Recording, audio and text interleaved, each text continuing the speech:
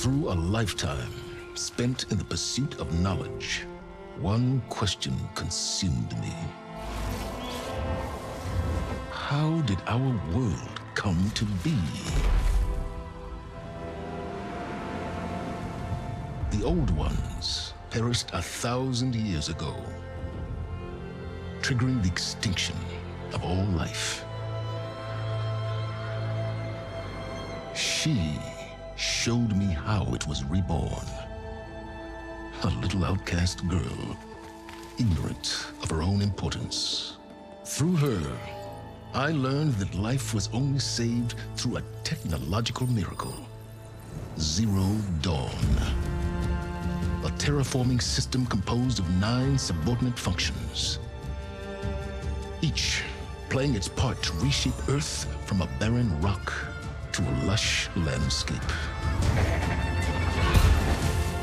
Tended and protected by the machines.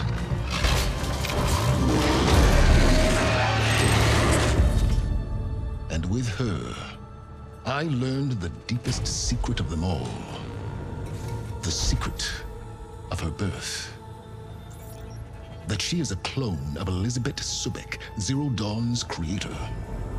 Born to prevent a new extinction.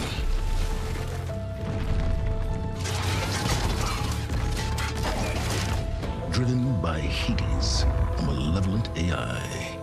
Given sentience by a mysterious signal of unknown origin. And with a little help from me. She prevailed in a great battle at the city of Meridian. Becoming a champion for all humankind. But as useful as she has been, now, I must leave her behind. For as she strives to put right what Hades sundered, I have made a new discovery. One that heralds both destruction and opportunity.